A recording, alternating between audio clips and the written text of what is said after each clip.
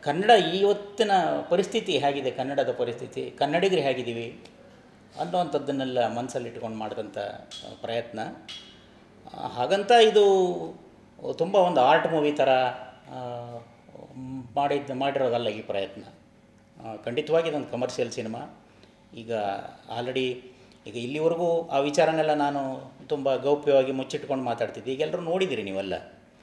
So ಹಾಗಾಗಿ ಈ ಸಿನಿಮಾನು ಕೂಡ ಇಷ್ಟು ವಿಚಾರಗಳನ್ನ ಇಟ್ಟುಕೊಂಡು ಇವತ್ತಿನ ಕಾಲಮಾನಕ್ಕೆ ಒಂದು ಕಮರ್ಷಿಯಲ್ ಆಗಿ ಹೇಳೋಕ್ಕಾಗಲ್ಲ ಅನ್ನೋ ಪ್ರಯತ್ನ ಮಾಡಿದ್ವಿ ಆ್ಯಕ್ಚುಲಿ ಇದಕ್ಕೆ ಸ್ಫೂರ್ತಿ ಬಂದು ನಮ್ಮ ನಿರ್ಮಾಪಕರೇ ಯಾಕೆಂದರೆ ಅವರು ಕನ್ನಡದ ಬಗ್ಗೆ ಒಂದು ಒಳ್ಳೆಯ ಸಿನಿಮಾ ಮಾಡಬೇಕು ಒಳ್ಳೆಯ ಸಿನಿಮಾ ಮಾಡಬೇಕು ಅಂತ. ಒಳ್ಳೆಯ ಸಿನಿಮಾ ಅಂದರೆ ಹೇಗೆ ಹೇಳಿ ಸರ್ ಅಂತ ನಾನು.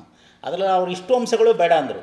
ಕಮರ್ಷಿಯಲ್ ಅಂಶ ಇರಬಾರ್ದು, ದ್ವಂದ್ವಾರ್ಥ ಇರಬಾರ್ದು, ಇನ್ನೇನೂ ಇರಬಾರ್ದು, ಅಶ್ಲೀಲ ಇರಬಾರ್ದು, ವೈಭವೀಕರಣ ಇರಬಾರ್ದು, ಒಂದಷ್ಟು ಪಟ್ಟಿಗಳನ್ನ ಹೇಳಿದ್ರು ಅವರು. ಬಹುಶಃ ಸಿನಿಮಾದಲ್ಲಿ ತಾವು ಹೇಳ್ದಂಗೆ ಈ ಅಂಶಗಳನ್ನೆಲ್ಲ ಬಿಟ್ಟು ಸಿನಿಮಾ ಮಾಡೋದು ಕಷ್ಟ. ಹಾಗಾಗಿ ಯಾಕೆ ಮಾಡಬಾರ್ದು ಅನ್ನೋ ಒಂದು ಪ್ರಯತ್ನ ಅಷ್ಟೇ.